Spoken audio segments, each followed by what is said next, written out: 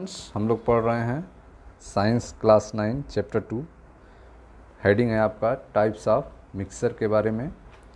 पिछले वीडियो में हमने activity one two point one को समझ लिया था।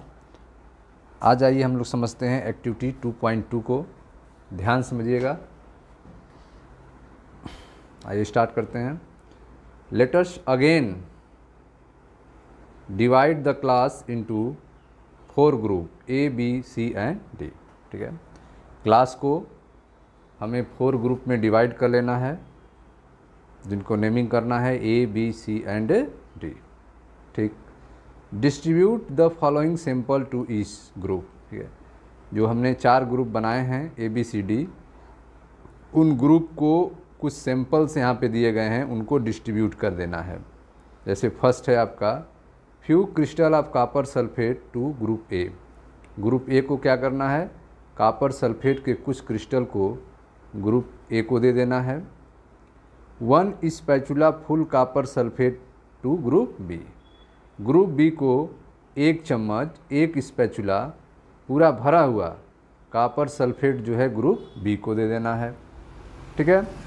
Group C chalk powder or wheat flour to group C group C को क्या देना है? ग्रुप सी को चाक पाउडर दे दीजिए। अगर चाक पाउडर नहीं है तो वीट फ्लोर, गेहूँ का आटा जो है, वह आप जो है, ग्रुप सी को देना है। ठीक? अब बच गए आपके ग्रुप डी। ग्रुप डी को few drop of milk or ink to group D. ठीक है? ग्रुप डी को आपको कुछ ड्रॉप मिल्क की कुछ बूंदें जो हैं, मिल्क की आपको ग्रुप डी को देना है। अगर यह अवेलेबल नहीं है तो इंक, ठीक है? तो इंक को आप जो है ग्रुप डी को दीजिए, ठीक है? तो एक्टिविटी 2.2 में आपने देखा कि सबसे पहले क्लास को चार ग्रुप में डिवाइड कर लेना है, ए बी सी डी, ठीक है? ग्रुप ए को कुछ क्रिस्टल देना है कापर सल्फेट का। ग्रुप बी को one spatula full copper sulphate देना है। ग्रुप सी को चाक पाउडर, नहीं तो वीट फ्लोर ग्रुप सी को देना है। और ग्रुप डी को फ्यू ड्रॉप ऑफ़ मिल्क या फिर इंक ग्रुप डी को देना है। ठीक, आगे देखें ध्यान से। Each group each group should add the given sample in water and stir properly using the glass rod ठीक है? तो प्रत्येक ग्रुप जो ए बी सी डी है, जो भी उनको मटेरियल प्रोवाइड की गई है, जो भी चीज़ें दी गई हैं, उनमें जो है कुछ वाटर ऐड कर लेना है। उनमें कुछ पानी मिला लेना है और अच्छे से एक ग्लास राड के हेल्प से स्टायर कर लेना है, घोल लेना है। ठीक है? Each group should add the given sample in water and stir properly using a glass rod ठीक है? ग्लास राड का यूज़ करके जो भी सैंपल दिए गए हैं, उनमें वाटर यूज़ करके जो है अच्छे तरीके से स्टायर कर लेना है, घोल लेना है। Are the particles of the mixture visible ठीक है? क्या मिक्सर के सभी पार्टिकल्स जो हैं विजिबल्स हैं, सभी पार्टिकल्स दिखाई दे रहे हैं। Group A, B, C, D, चार ग्रुप आपने बनाया था। सबको जो है वाटर में घोल लेना है, अच्छे तरीके से ग्लास राड के हेल्प से। उसके बाद आपसे क्वेश्चन है, are the particles in the mixture visual क्या मिक्सर के सभी पार्टिकल्स दिखाई दे रहे हैं? ठीक है? आगे देखते हैं। Direct a beam of light from a torch through the beaker containing the mixture and observe from the front ठीक है? अब क्या आपको करना है? जो भी आपने मिक्सर तैयार किया है, उसको सामने से डायरेक्ट सामने से लाइट ठीक है? टार्च से लाइट सीधा लाइट उससे गुजारना है। Direct beam of light from a torch. ठीक है? टार्च से डायरेक्ट लाइट जो है उस मिक्सर से आपको गुजारना है। Through the beaker containing the mixture ठीक है? जिस बीकर में आपने मिक्सर को रखा है, उस मिक्सर से ठीक उस मिक्सर के सामने आपको टार्च जलाना है, ताकि उसके अंदर से बीम होके निकले और आपको देखना है, सामने से। ऑब्ज़र्व फ्रॉम द फ्रंट ठीक है? सामने से ऑब्ज़र्व करना है कि क्या जो आपने टार्च का लाइट जलाया है तो जो बीम निकल रही है लाइट की वह मिक्सर से हो के गुजर रही है तो उसके रास्ते जो हैं दिखाई दे रहे हैं। ठीक है? मिक्सर से, जब अंदर से मिक्सर के अंदर से लाइट गुजर रही है तो क्या उसके रास्ते विजुअल हो रहे हैं या नहीं हो रहे हैं? यह आपको बताना है। Was the path of beam of light visual क्या लाइट के जो रास्ते हैं पाथ हैं वे विजुअल हैं, दिखाई दे रहे हैं। ठीक है? नेक्स्ट देखते हैं। Leave the mixture undisturbed for a few minute ठीक है? यह टेस्ट करने के बाद लाइट को गुजारने के बाद, अब जो है मिक्सर को रख दीजिए। अनडिस्टर्ब बिना हिलाए हुए उसको, बिना डिस्टर्ब किए हुए उसको रख दीजिए कुछ मिनट के लिए। And setup the filtration operators in a mean time ठीक है? और जो भी फिल्ट्रेशन ऑपरेटर्स है, उसको जो है सेट कर लीजिए। छानने के लिए मिक्सर को छानने के लिए फ़िल्टर करने के लिए ऑपरेटर्स जो हैं, उनको सही कर लीजिए। Is the mixer stable or do not particle begin to settle after some time ठीक है? जब आपने मिक्सर को बिना डिस्टर्ब किए कुछ मिनट के लिए रख देंगे तो क्या इज़ द मिक्सर स्टेबल? क्या वो मिक्सर स्टेबल है? मतलब स्टेबल का मतलब वह एकदम आपस में घुला हुआ है, एक समान रूप से दिख रहा है। Do the particle begin to settle after some time या फिर कुछ पार्टिकल्स जो हैं, वह तली में बैठ जा रहे हैं, नीचे सेटल डाउन हो जा रहे हैं। क्या मिक्सर में पार्टिकल्स एक समान रूप से फैले हुए हैं, या फिर पार्टिकल्स जो हैं, वह सेटल हो जा रहे हैं, कुछ समय बाद जो है, नीचे बैठ जा रहे हैं, तली में बैठ जा रहे हैं। ठीक है? आप जो है सेटअप तैयार कर चुके हैं। ठीक है? Setup the filtration operators in a mean time जब तक कुछ मिनट के लिए आपने मिक्सचर को रखा था, अनडिस्टर्ब किए हुए उस दौरान आपने सेटअप को तैयार कर लिया है जिससे फ़िल्टर करना है। सेटअप आप देख सकते हैं फ़िल्टर करने का सेटअप देखें ध्यान से। यह फ़िल्टर करने का सेटअप है जिसमें आप देख रहे हैं एक फ़िल्टर पेपर है। यह आपका फ़िल्टर पेपर है। ठीक है? फ़िल्टर पेपर को पहले एक कोन के रूप में मोड़ लेना है। तो फ़िल्टर पेपर को पहले आप जो है आधा से मोड़ देंगे। फ़िल्टर पेपर होल्ड कर लेंगे। हाफ़ बीच से मोड़ेंगे। और फिर उसको ऐसे मोड़ेंगे। फिर जो है एक डाटेड लाइन आप देख रहे हैं। पहले जो है मोड़ है हाफ़ ऐसे मोड़ेंगे। फिर जब आधा आधा मुड़ जाएगा तो फिर इसको ऐसे मोड़ लेंगे। ठीक? उसके बाद जो मोड़ने के बाद ओपन करेंगे तो एक कोन के रूप में यह कोन ए फ़िल्टर पेपर एक कोन बन जाएगा।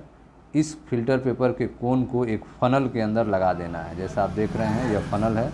इसके अंदर फ़िल्टर पेपर को लगा दिया गया है ठीक अब आपने मिक्सर को छानना है। जो आपने मिक्सर तैयार किया था, उसको यहाँ पे फ़िल्टर पेपर में गिराना है और ग्लास राड से जो है आपको हिलाते रहना है। ठीक है liquid decanted in the funnel fitted with filter paper liquid को इस फनल से होते हुए गुजारना है। ठीक है फनल से होते हुए लिक्विड जो है टेस्ट ट्यूब में आके इकट्ठा होगा, जिसे फिल्ट्रेट कहेंगे। तो आइए देखते हैं आगे। देखें ध्यान से। Filter the mixer. मिक्सर को फ़िल्टर कीजिए, मिक्सर को छानिए। Is there any residue on the filter paper? जब आप फ़िल्टर को फ़िल्टर पेपर से छान रहे हैं मिक्सर को मिक्सर को तो क्या कुछ रेसिड्यू बच रहा है? ठीक है कुछ मटेरियल्स जो हैं पार्टिकल्स जो हैं, आपके फ़िल्टर पेपर में इकट्ठा हो रहे हैं। ठीक है? अब हमारा रिज़ल्ट क्या है, उस पर बात करते हैं। Discuss the result and form and opinion जो रिज़ल्ट हमें मिला है, उस रिज़ल्ट पे बात करते हैं और अपने ओपिनियन बनाते हैं। ठीक है? Group A and group B आपने देखा ग्रुप ए जो था, वह few crystal of copper sulphate to group A group A के पास जो है कापर सल्फेट के कुछ क्रिस्टल थे, जिनको वह वाटर में घोला था अच्छे तरीके से, ग्लास राट से, ठीक?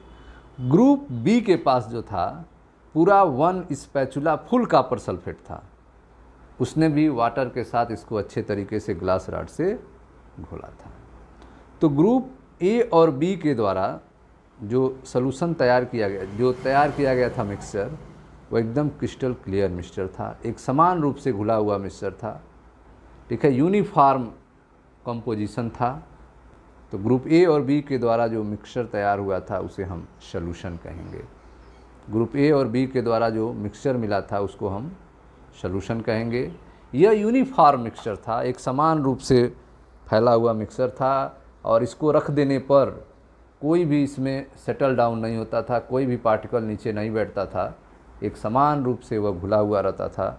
इसलिए ग्रुप ए और बी जो कापर सल्फेट घोला गया था वाटर में ठीक है? तो वह क्या मिला था? सोल्यूशन मिला था। ठीक है? होमोजेनियस सोल्यूशन मिला था। ग्रुप सी ग्रुप सी ने आपने देखा था ग्रुप सी ने क्या घोला था? तो ग्रुप सी जो है, चाक पाउडर को घोला था वाटर में। या अगर चाक पाउडर अवेलेबल ना हो तो वीट फ्लोर ठीक है? वीट फ्लोर को उसने घोला था। वीट फ्लोर को ग्रुप सी ने घोला था। तो इसका रिज़ल्ट यह था यह एक सस्पेंसन था। सस्पेंसन का मतलब जो है, जब इसको हम सेटल डाउन रख दिए थे अनडिस्टर्ब किए हुए तो यह नीचे बैठ गया था। जो चाक पाउडर था, वह नीचे बैठ जाएगा। ठीक है? या फिर जो वीट फ्लोर अगर आप घोले हैं तो अभी जो है, कुछ मिनट रखने के बाद नीचे बैठ जाते हैं। तो इसको क्या कहेंगे? सस्पेंसन ठीक है? तो ग्रुप सी के द्वारा जो है सस्पेंसन प्राप्त हुआ था। तो वाटर में हमने वीट फ्लोर या फिर चाक पाउडर घोला था। तो उसके द्वारा जो मिक्सचर तैयार हुआ था, उस मिक्सचर को क्या कहते हैं? सस्पेंसन कहते हैं सस्पेंसन और यह होमोजीनियस नहीं था, यह हेट्रोजीनियस मिक्सचर था, एक समान रूप से नहीं था, हेट्रोजीनियस मिक्सचर था। और इसको रखने के बाद इसमें सेटल डाउन होते थे मटेरियल। तो इसलिए ग्रुप सी के द्वारा जो मिक्सचर मिला था, उसे हम सस्पेंसन कहते हैं। अब आते हैं ग्रुप डी। ग्रुप डी ने क्या किया था? ग्रुप डी जो है मिल्क को या फिर इंक को घोला था वाटर में। ग्रुप डी ने मिल्क या फिर वाटर को घोला था। तो ग्रुप डी के द्वारा जो मिक्सचर तैयार होता है, वह कोलाइडल सोल्यूशन था। ग्रुप डी के द्वारा जो मिक्सचर मिला था, वह क्या था? एक कोलाइडल सोल्यूशन था। ठीक है? जब हमने लाइट पास किया था, ठीक है मिक्सचर में हमने लाइट भी पास किया था, torch in front of, torch जो है जलाया था। तो सस्पेंसन में और कोलाइडल सोल्यूशन में इन दोनों में रास्ते दिख रहे थे। जब हमने लाइट पास किया था मिक्सचर के सामने से टार्च को जलाया था तो जो लाइट का पाथ है, जो लाइट का रास्ता है, वह हमें कोलाइडल सोल्यूशन में और सस्पेंसन में मतलब ग्रुप सी के द्वारा जो मिक्सचर तैयार किए गए थे और ग्रुप डी के द्वारा जो मिक्सचर तैयार किए गए थे, उनमें हमें लाइट का पाथ दिखाई दिया था। सस्पेंसन में और कोलाइडल सोलूशन में हमें लाइट का पाथ दिखाई दिया था, जबकि सोलूशन में लाइट का पाथ दिखाई नहीं दिया था। क्योंकि सोलूशन के जो पार्टिकल्स होते हैं, वो काफ़ी छोटे होते हैं। वह लाइट को स्कैटरिंग नहीं करते हैं, लाइट को बिखराव नहीं दे पाते हैं। इसलिए वह नहीं दिखाई देता है लाइट का पाथ। जबकि सस्पेंसन और कोलाइडल सोलूशन में जो पार्टिकल्स होते हैं, थोड़े बड़े होते हैं, और वह लाइट को ठीक है, लाइट को बिखराव कर देते हैं, डिस्क्रीट कर देते हैं, फैला देते हैं। जिससे लाइट का पाथ जो है दिखने लगता है, इस प्रोसेस को टिंडल प्रभाव कहते हैं टिंडल इफ़ेक्ट कहा जाता है। तो टिंडल इफ़ेक्ट का जो प्रभाव है, वो सस्पेंशन और कोलाइडल सोल्यूशन में दिखता है लाइट का पाथ दिखता है, जबकि सोल्यूशन में ऐसा नहीं होता है। ठीक है? फ़िल्टर पेपर में अगर देखा जाए तो फ़िल्टर पेपर में जो आपने वीट फ्लोर था या फिर चाक पाउडर थे, वे जो है फ़िल्टर पेपर में रुकते हैं। बाकी जो है सोलूशन जो है पूरा फ़िल्टर पेपर से निकल जाता है फिल्ट्रेट के रूप में अलग हो जाता है। आगे देखें now we see learn about solution ठीक है? अब हम जो है सोलूशन के बारे में पढ़ेंगे। Suspension and colloidal solution in the following section ठीक है? अब हम लोग सोलूशन के बारे में सस्पेंसन के बारे में और कोलाइडल सोलूशन के बारे में पढ़ेंगे।